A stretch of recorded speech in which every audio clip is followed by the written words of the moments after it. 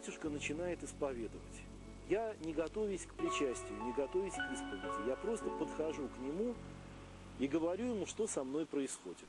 И тут он вспоминает имя святителя Луки Крымского.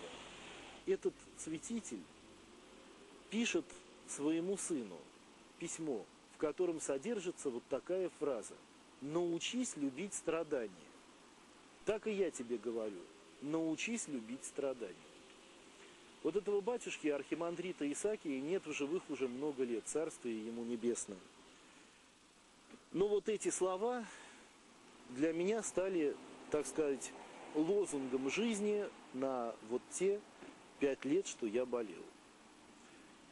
И вот эту очистительную силу страдания я сейчас, надо сказать, ощущаю каждый день.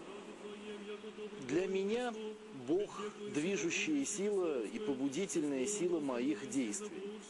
Все, что я делаю в жизни, я стараюсь соизмерять с Ним, стараюсь соизмерять с Его заветами, понять, соответствует ли это Божьему плану или не соответствует, соответствует ли то, что я делаю, заповедям Божьим или не соответствует. Для меня это та сила, то высшее начало, которое определяет смысл жизни.